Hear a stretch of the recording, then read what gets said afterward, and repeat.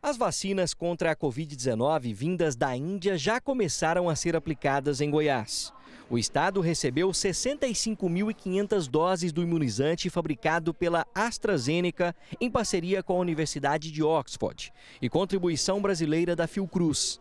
Na capital, até o fim da semana, médicos, enfermeiros, técnicos de enfermagem, de laboratório, recepcionistas e pessoal da limpeza que atuam nas 81 unidades de atenção primária em Goiânia devem ser vacinados. São cerca de 5 mil trabalhadores. A vacinação tem cumprido as determinações do Ministério da Saúde.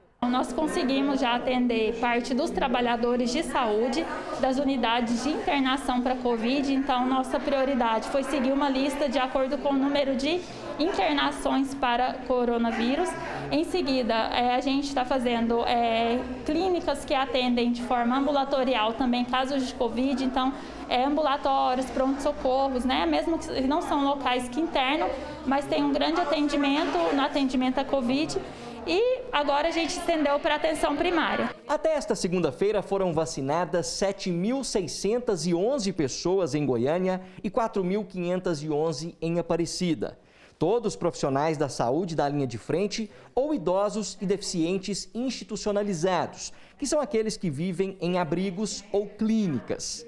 Todas as doses da Oxford AstraZeneca serão ministradas nesta etapa. E para evitar é, mistura de vacinas, erros de imunização, a gente está é, tá fazendo essa separação. Então, a equipe da atenção primária faz com a, vacina, com a vacina do laboratório AstraZeneca e a equipe das urgências e emergências com o laboratório Sinovac, que é a vacina Coronavac.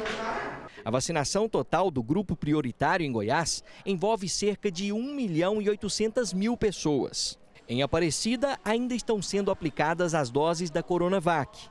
Restam cerca de 2 mil ainda da primeira fase. Ainda nesta semana, as vacinas da AstraZeneca também devem começar a serem ministradas. Juntando as duas vacinas, Aparecida até agora recebeu 12 mil doses dos imunizantes.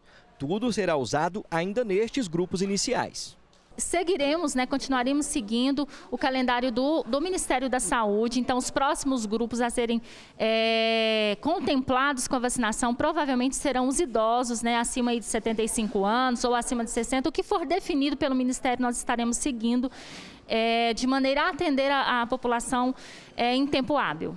Mas no fim das contas, a vacina, seja ela de qual laboratório for, só significa uma coisa. É uma sensação de esperança, né? Em meio a tanto turbulência, em meio a tantas mortes, né? É uma, um sentimento de esperança.